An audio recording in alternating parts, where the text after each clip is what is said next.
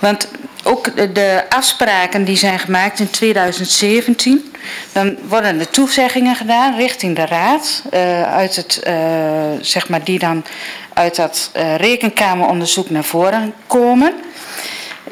die, dat wordt allemaal overgenomen en vervolgens ja, zitten we nu nog steeds zonder vastgoednota. Maar dan is het elke keer wel heel gemakkelijk om het weer te ontwijken, omdat ik het dan niet in de vergadering duidelijker kan vertellen. Gezond verstand, het winst van het gestold wantrouwen. Dan is het woord nu aan wethouder Langejes die namens het college het woord voert. En in mei 2018 heeft uw raad gevraagd, er was ook nog een interventie van uw raad, het initiatief van de werkgroep een kans te geven.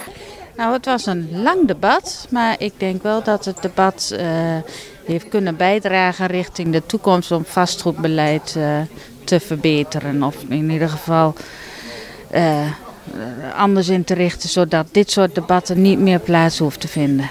Alle vragen zijn beantwoord. Ik was er ook, uh, de wethouder heeft natuurlijk heel lang de tijd gehad om die vraag te bekijken en om uh, antwoord te formuleren. En ik denk wel dat hij dat voldoende heeft gedaan. Dus.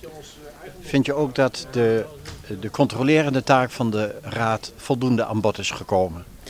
Um, nou, dat was op dit moment niet echt aan bod, maar ik denk wel dat die verbeterd moet worden. En ik hoop ook dat dat gaat lukken, ook met dat nieuwe vastgoedbeleid wat dan geformuleerd moet worden. Dat je ook een soort controle op het proces krijgt en dat moet de raad natuurlijk ook kunnen doen.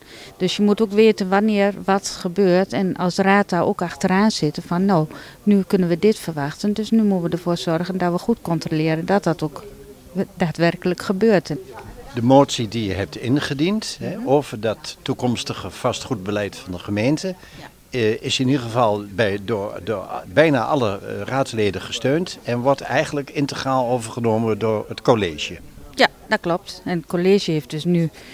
Voor de motie hebben ze gestemd 31 leden, 3 daartegen. De specificatie volgt nu. En dan zien wij dat de motie is aangenomen. Nou, ik ben daar wel blij mee dat ze dat gedaan hebben. Het college krijgt nu de tijd in ieder geval om uh, uh, beleid uh, te maken. En nou ja, kijken wat daarvoor nodig is om transparant beleid te kunnen maken. En nou, wij verwachten dus ook dat dat nu eindelijk gaat gebeuren. En dat er in december ook een resultaat uit voortkomt. Zo niet, dan, dan zullen we met een motie van wantrouwen komen.